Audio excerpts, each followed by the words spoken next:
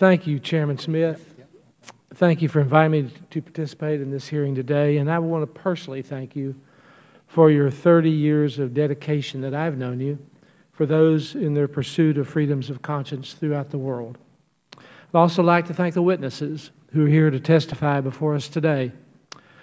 Next week will mark the 25th anniversary of Tiananmen Square massacre.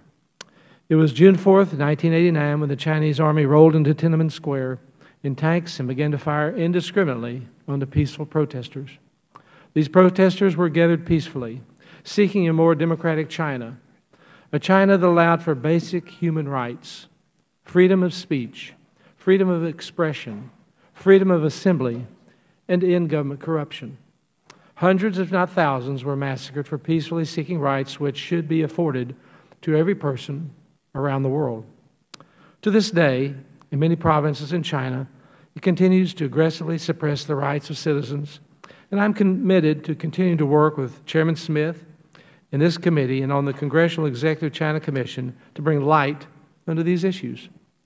I've worked for the past 25 years with the underground Christian church, and I was been able to see firsthand the impact of what it means to allow Christians to live freely and what they can accomplish. The integrity, the loyalty, and the faithfulness of Christian believers demonstrates the powerful impact that, that their freedom can have on a culture and even an economy. Unfortunately, as Ronald Reagan once said, our nation too has a legacy of evil with which it must deal. America has dealt with discrimination based on heritage, gender, and political affiliation. However, one of the reasons America was able to eradicate slavery was the free exchange of different political points of view. Through a very robust debate of ideas, our nation has become stronger, even through a civil war where we lost over 600,000 lives.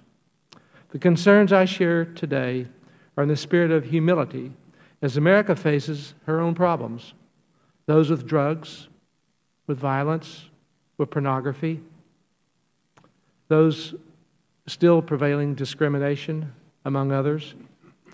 My interest, though, is not to be condescending, but to recognize how both China and the United States can and must improve their cultures. My honesty about China is consistent with my acknowledgement and honesty about our own country. Again, I would like to thank the witnesses for appearing before us today. I look forward to your testimony, and I am again grateful to Chairman Smith for calling this hearing.